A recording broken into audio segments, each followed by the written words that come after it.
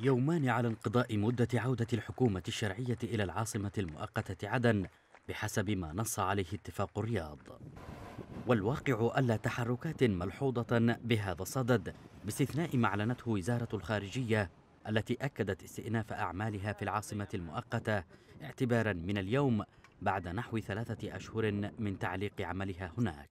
الخارجية أكدت في بيان نشرته وكالة سبأ الحكومية أن استئناف عملها في عدن يأتي تنفيذا لتوجيهات الرئيس هادي حول العمل بشكل فوري لتنفيذ اتفاق الرياض. وبهذا تكون الخارجية أول وزارات الحكومة التي تستأنف عملها في عدن عقب توقف عمل كافة الوزارات منذ أغسطس الماضي على خلفية سيطرة المجلس الانتقالي المدعوم إماراتيا على المدينة.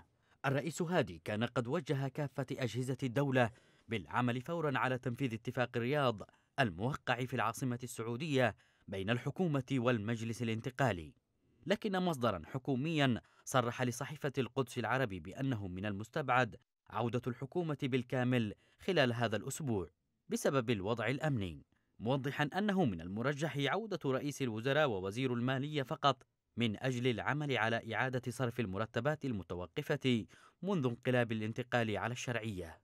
أما بقية الوزراء سيقومون بتسيير الأعمال حتى إعلان التشكيل الحكومي الجديد الشهر المقبل بحسب البرنامج الزمني لاتفاق الرياض.